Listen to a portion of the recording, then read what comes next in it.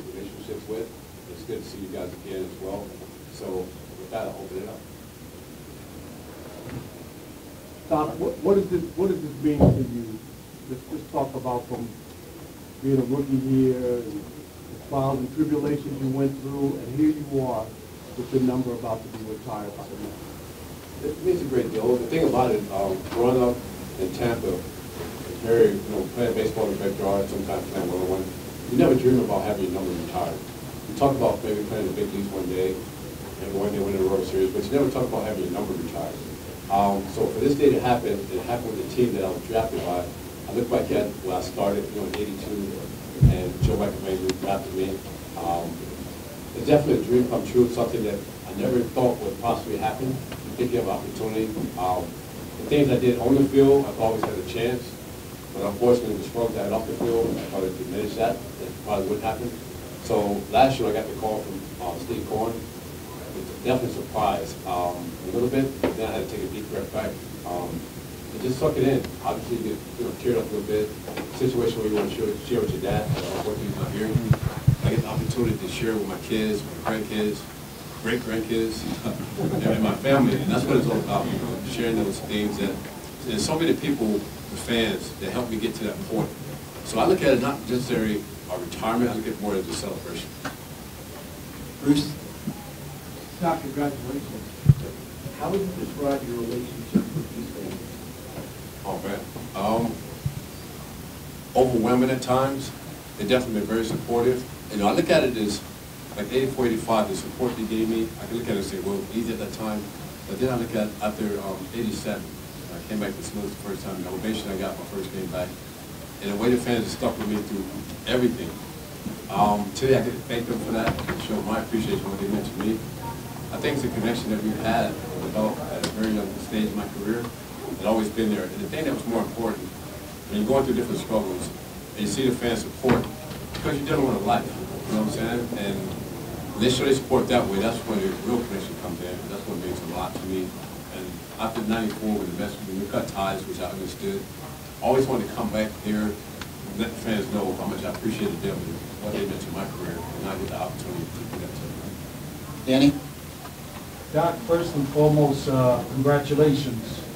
We go back uh, a number of years, and as someone who watched the World Series in 1986, as a 20-year-old, that's a memory that's, to this day, I can never forget. But considering what we're currently seeing in baseball today with pitchers, the impact that your father had, your high school coach had, from the standpoint of maybe not rushing you, progress to what we ended up experiencing in 1984 and 1985, vintage Doc Gooden. What would you tell a young boy today, he wants to become a pitcher, what are some things along the line of conditioning and arm strength? I think, uh, just my opinion, I was very fortunate, man, very, uh, knowledge that my father had, that taught us about mechanics at a very young age. Um, he developed very with his hitting, me as a pitcher. The main thing is, I would say number one, as a young pitcher, have fun. That's the most important thing. And to me, what separates the good players from the great players is, always ask kids all the time, when you don't have practice, you don't have games, what can you do to make yourself better? There's a lot of distractions now for kids, unfortunately, and having passion for the game. I mean, you gotta eat, drink, and sleep baseball, and understand it, understanding what it takes to even wear a uniform. I mean, even young kids, it's a privilege to wear a uniform because somebody, whether it's your parents, whoever, paved the way for you to get to that point. And just put in the hard work. And I would say, um, for his throwing, I think the parents played a big part in that, for monitoring the kids. And a lot of times you notice where sometimes the parents try to live their dream through the kid instead of the kid be the kid. So that would be my, that's pretty much just my opinion. Howie? Hey, Doc, can you recall your reaction the first time you saw that girl on the Oh, wow. Um, I tell you, um, you want the truth or? no, I said that because, you know, I was, I was young, I was twenty years old when that happened, and going in the city, um, a lot of times you ride by there intentionally, but whoever's the passenger, you know, you can tell like this is the first time seeing it. I get lucky a lot of times, you know, but honestly, um, the first time I saw that, I was overwhelmed, you know, being twenty year old, twenty year old and seeing that, you know, my family came up, to take them about it and enjoy that.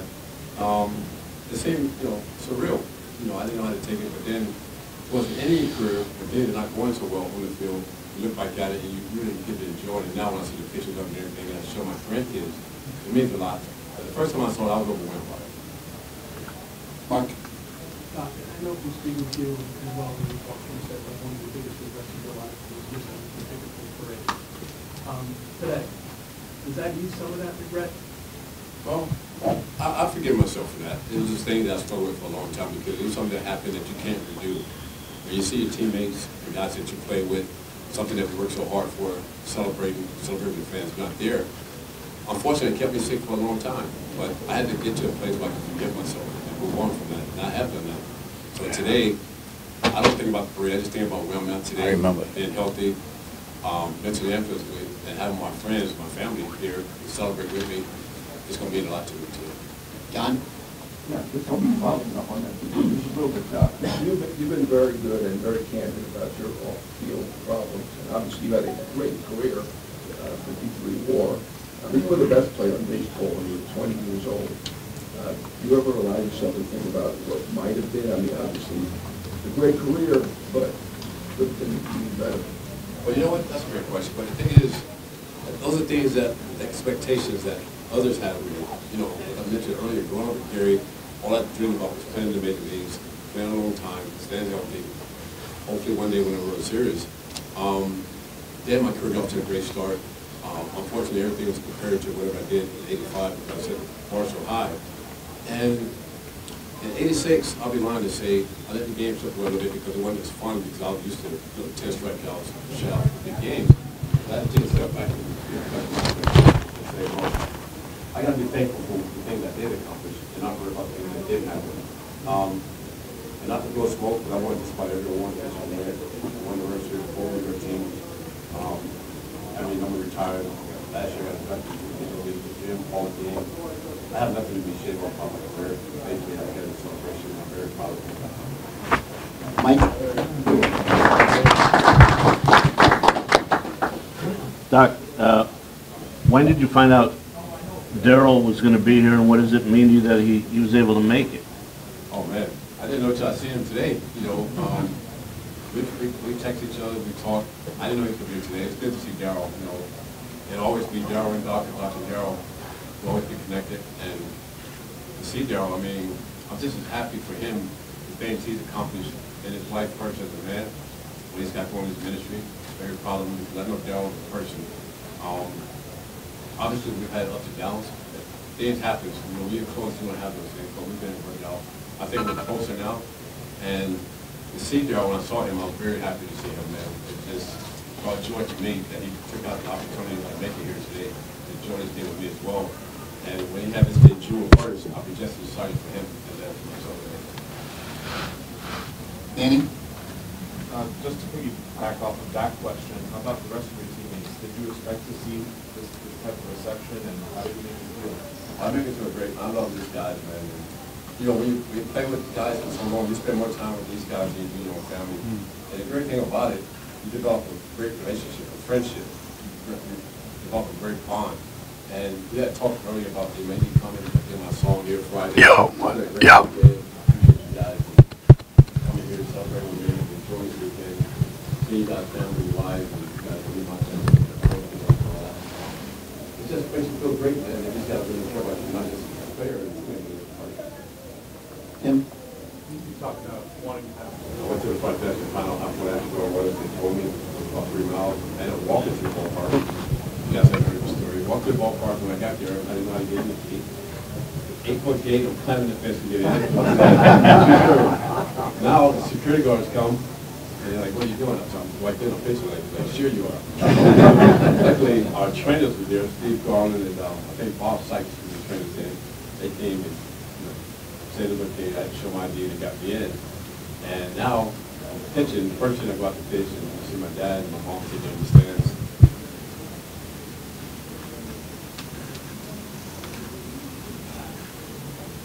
See my parents sitting in the stands, you know. It was big, big playing professional baseball, Gary would tell you. It was my dad's dream at first.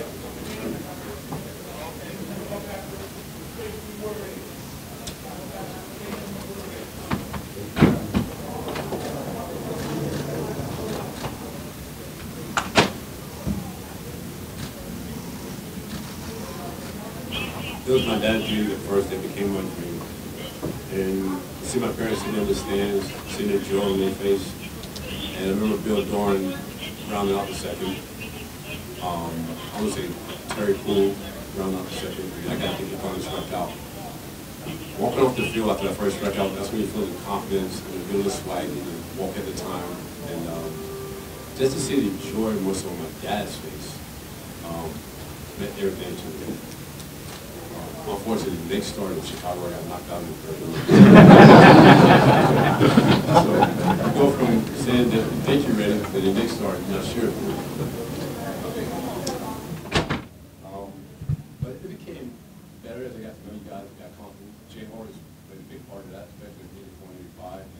Um, Spring training in eighty-four, once I made the team, I could make the team, Darryl helped you. Um, the first two years, we just lived together, uh, and, uh, well, not lived together, but was neighbors at Port Washington, we used to drive to the ballpark together. So he talked to me a lot about building a community, showing up every day in front of your locker, good and bad. He a lot because of what he went through the previous year.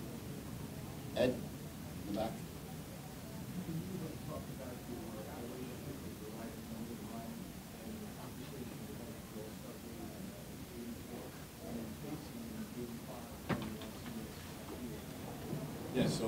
So Nolan, um, like my idol. Nolan and Pete Rose, Pete Rose, I, I wanted to be a hitter growing up.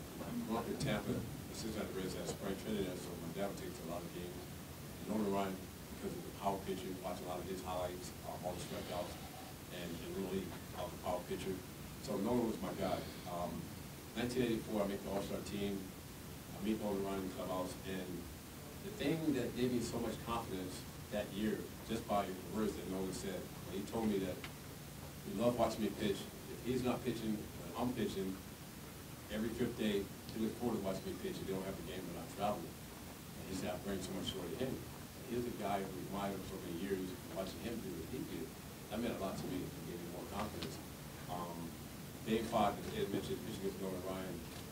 Being a fan of Nolan, um, it was nice, not that I was obviously pulling for Nolan, but you want to see him do well, but you want to win. Um, pitchers, I know myself, I was very superstitious, where every third inning, I would go to the clubhouse and change my shirts, whatever. But when Nolan was pitching, I was just stand in the dugout, change in a tunnel, just to watch him pitch and see what he's doing. If you go ten innings, ten innings against Nolan that day, it's definitely one of the highlights of my career. So it's something that always was sticking out. Rich, Hey, Dwight, um, obviously, you pitched a lot of big games here, and your battery mate for most of that time was Gary Carter. And what was it like playing with him, and, and, and what did he mean to your career on a day-to-day basis?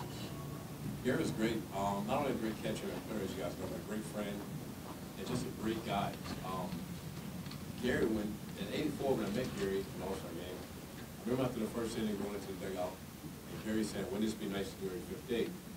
Not knowing was going to trade for Gary that November, and we just hit it off right away. Gary's one of the guys where the only catcher I ever had besides Barry that would catch me between starts.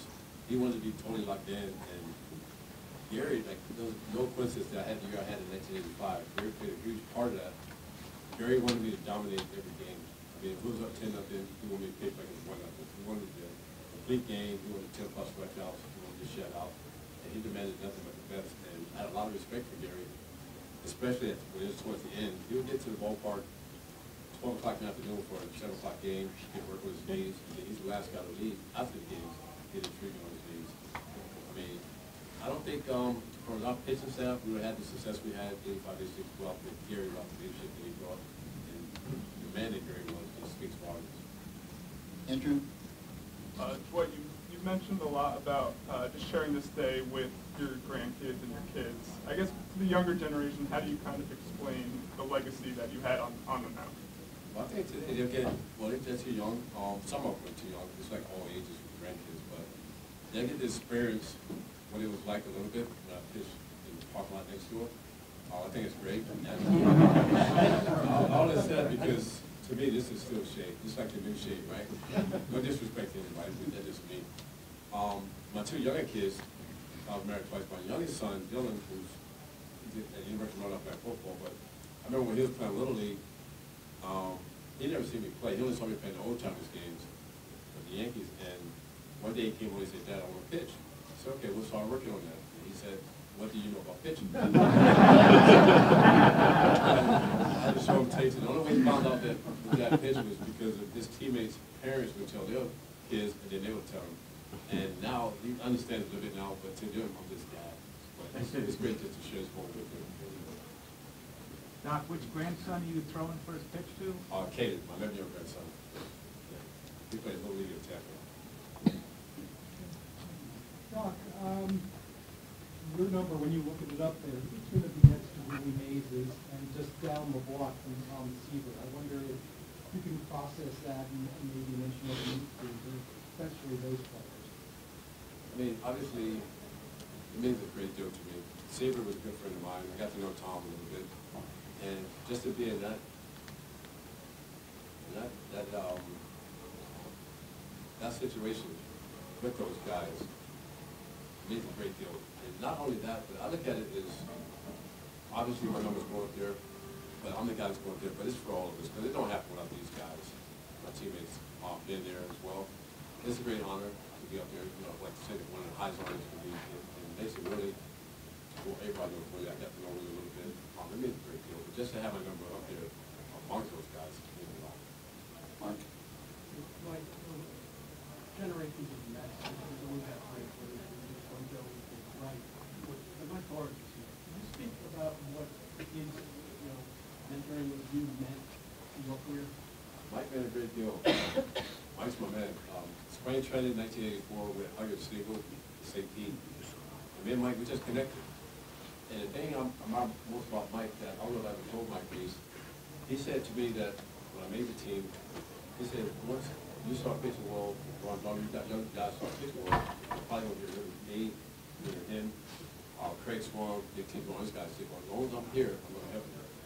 Which meant a lot. There a lot of guys who would do that. And I remember, um, after every start I had, back then we had a lot of B games at Hudson. After every start, going in, the media would say, well, some of you guys are there, you say, France wants to go double A or triple A.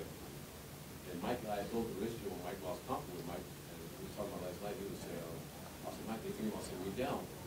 He would say, you know, what? Go in there and tell them you're not going down. You know, to the majors. But that's. So I actually told Davey, I said, Davey said, I said, Mike said I'm not going down. I said, I said, I said, Mike said- Well, you're ready.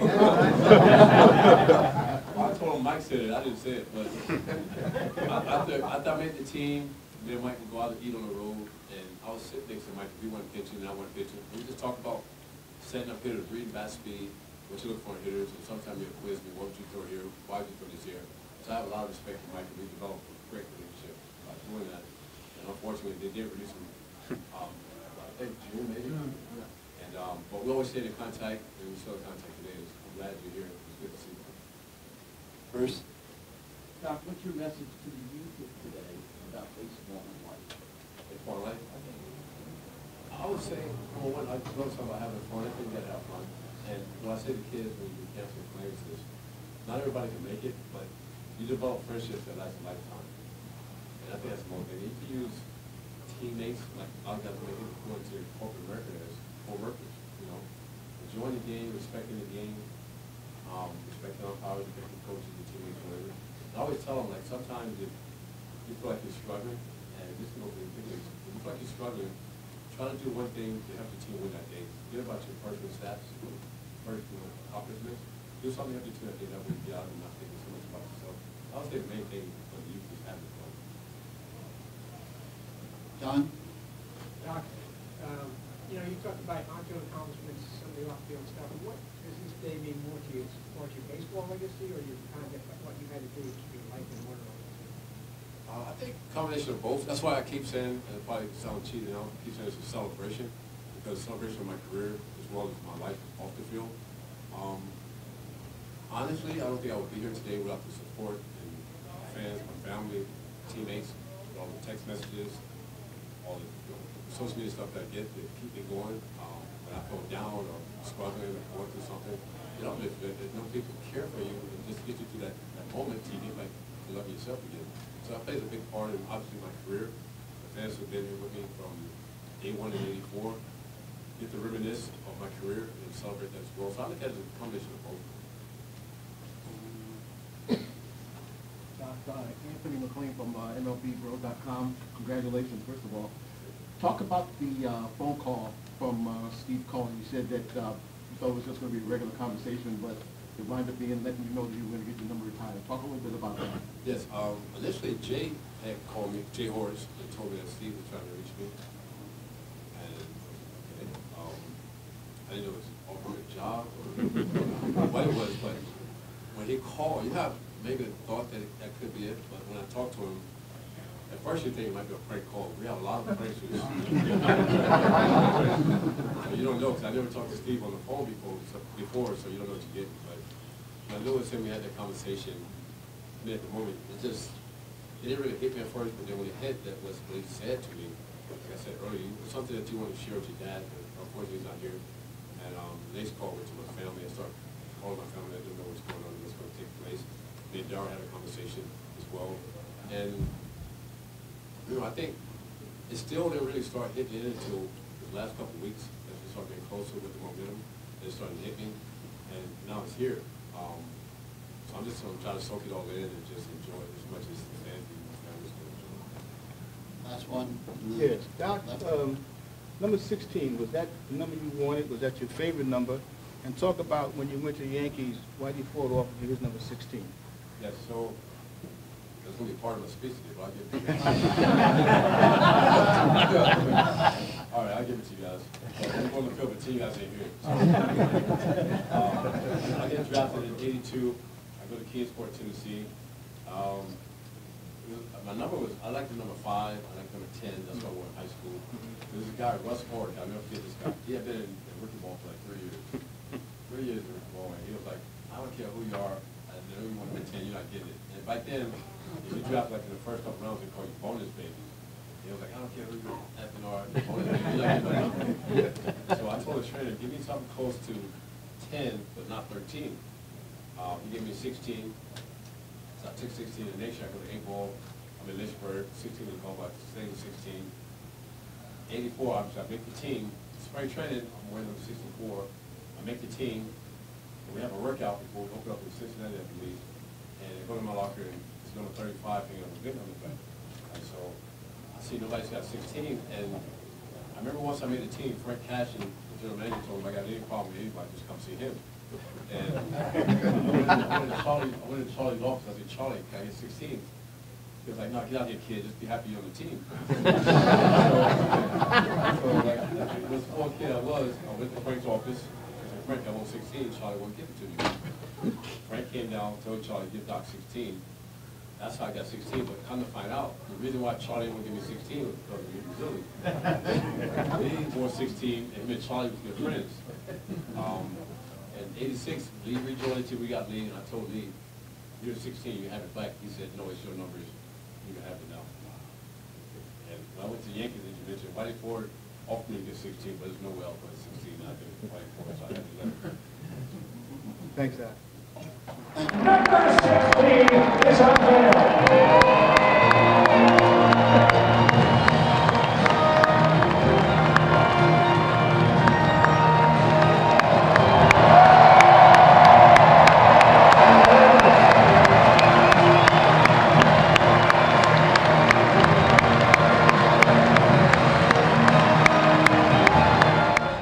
Hola, ¿cómo estás? Yo quiero que te suscribas a las cinco esquinas.